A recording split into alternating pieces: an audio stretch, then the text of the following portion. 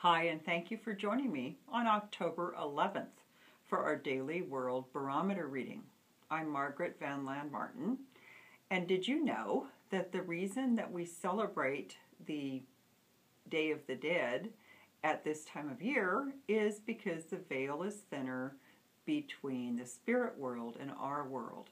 And so this is a time that in the Spanish cultures they celebrate the Day of the Dead and go and make visits to the graveyards and leave specialty food and flowers for the people that have passed before them.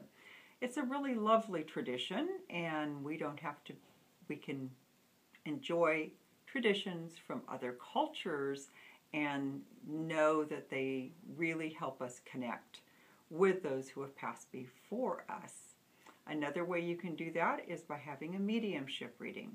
If you contact me, it's one of the readings that I do.